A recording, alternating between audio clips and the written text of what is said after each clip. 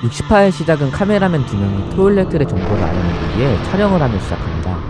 그 현장은 지멘 토일렛을 신문을 하는 듯한 분위기였죠. 지멘 토일렛은 눈을 피하며 무언가 변명을 하는 듯한 모습을 보여줍니다.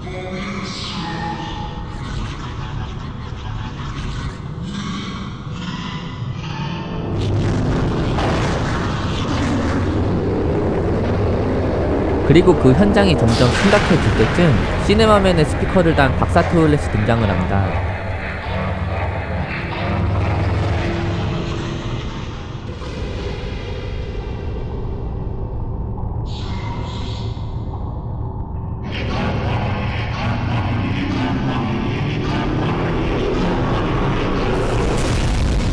박사 토일렛은 몰래 촬영을 하던 두 카메라맨을 부셔버렸지만 연합군들은 연결된 화면을 통해 그 현장을 보고 있었죠. 그리고 그것을 지켜보던 업타카맨이 두 손을 부딪히며 60화는 끝이 납니다.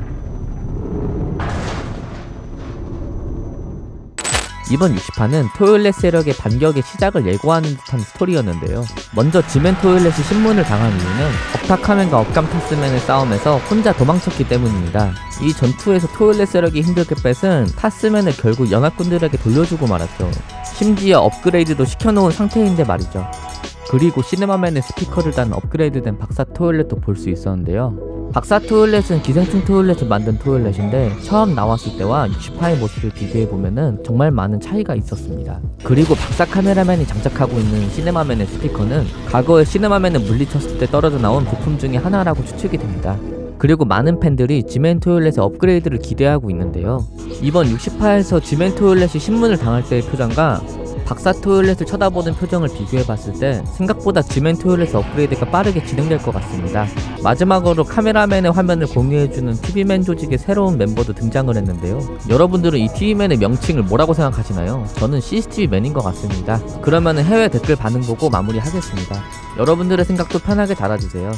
사실 지멘 토일렛을 걱정했는데 자이언트 박사가 나타났을 때 거의 기절할 뻔했어요. 목숨을 걸고 화장실 정보를 알아낸 카메라맨 두 명에게 경의를 표합니다. 나는 아직도 타이터 지메맨이 돌아올 것이라는 희망을 갖고 있다. 업타카맨이 손바닥에 주먹을 쳤을 때 나는 말 그대로 소름이 돋았습니다.